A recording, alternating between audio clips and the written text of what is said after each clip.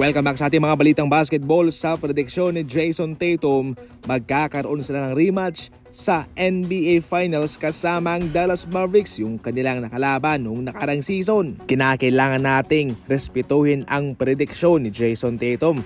Po pwede naman tayong mag-predict ng iba pero para mismo kay Jason Tatum, yan ang kanyang gustong mangyari. Posible naman yan dahil malakas itong Dallas Mavericks Kanilang napatunayan niya noong nakarang season na kahit na sila ay nasa ibaba, paunti-unti silang umakyat.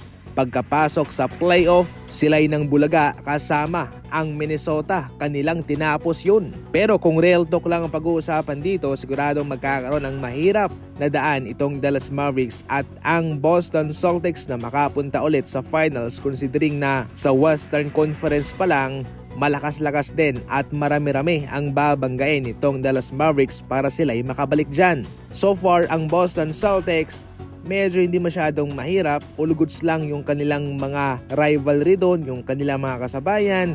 Hindi masyadong stack kumpara sa Western Conference. Ano? Maliban dyan, ay predict nga rin ho ni Jason Tatum na siya yung magwawagi ng MVP. Sa palagay ni Jason Tatum ay kanyang matatalo yung MVP favorite na si Nikola Jokic Noong 2019-2020 NBA season, nagtapos siya bilang ikalabing dalawa sa MVP voting. Sa 2021-2022, pang-anim naman siya sa butuhan. Pang-apat naman siya noong 2022-2023 at noong nakarang season, pang-anim siya. Kung mapapansin nyo, paunti-unti na nga siyang umakyat. Sa ngayon, ang paboritong manalo bilang MVP ay sina Nikola Jokic at si Luka ng Dallas Mavericks. Para mangyari ang mga prediksyon na yan ni Jason Tatum, kinakailangan niyang maungusan pa sa performance sina Luka and Nikola Jokic. Pagkatapos na nabuhay muli ang Jimmy Butler to Golden State Warriors, eto at pag-uusapan natin ngayon ang proposal na to. Ayon sa isang artikulo, matatanggap ng Warriors Jimmy Butler and Josh Richardson Samantalang matatanggap naman ng Miami Heat sina Jonathan Kuminga, Andrew Wiggins, Kevin Looney, and Gary Payton. Plus, meron pang isang pick.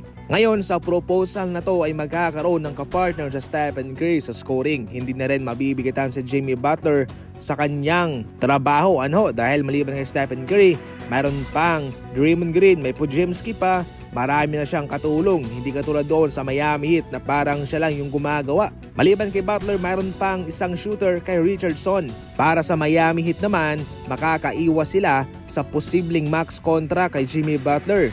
Mayroon silang batang player kay Kuminga na Alayanis Kawhi Leonard ang galawan. mag improve din yung kanilang depensa kay Andrew Wiggins. Meron din silang backup center kay Kevin Looney. Magko-complement ang kanyang laruan kay Bam Adebayo. Panghuli si Gary Payton na po pwedeng mag-contribute both offense and defense sa kanila. Marami-rami ang matatanggap ng Miami Heat sa proposal na to sa Golden State naman, malaking bagay si Jimmy Butler, scoring machine to. Sabi ko nga sa ating uh, nakarang balita, kung healthy lang, napakatibay nito at siguradong mangangalabaw din to. Sa kanilang parehong kakayahang gumawa ng spacing, makatrack ng double team, siguradong mayroong malilibre sa kanilang mga kasama. No? Tandaan na ito ay proposal lamang mga idol ha. Sa kabuuan para sa akin lang, parehong panalo ang Miami Heat at ang Golden State Warriors sa proposal na to. Ikaw, ano ang komento mo? E-comment mo lang yan at magre-reply ako sa'yo.